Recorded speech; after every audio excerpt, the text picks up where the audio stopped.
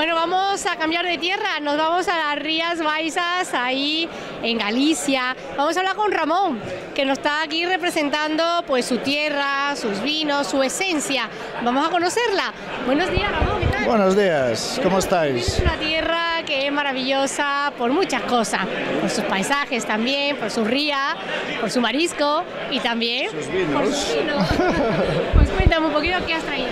Pues mira, nosotros somos Pazo de Rubianes, Jardín de Excelencia Internacional, uno de los cuatro que hay en Galicia. ¿eh? Esa categoría te la da la presencia de camelia, hay una ruta de la camelia que recorre Galicia de norte a sur y nosotros somos uno de esos jardines de la camelia. Tenemos más de 800 variedades de camelia, más de 5.000 camelias en el jardín.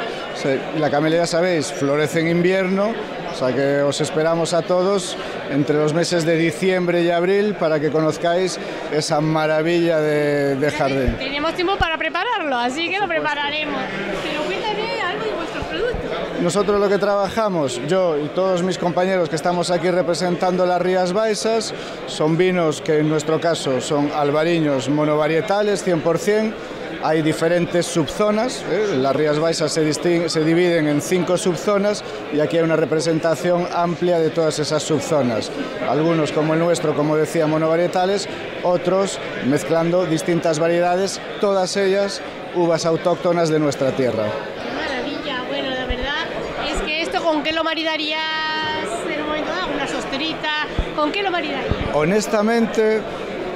La gente asocia el vino blanco a los productos del mar y sí que creo que estos vinos blancos gallegos para los productos del mar van de maravilla, pero al contrario de lo que está establecido, estos vinos maridan con cualquier tipo de carne de maravilla. Son vinos grasos, untuosos, que van perfectamente con cualquier carne, muchas de ellas eh, de origen gallego también, por cierto.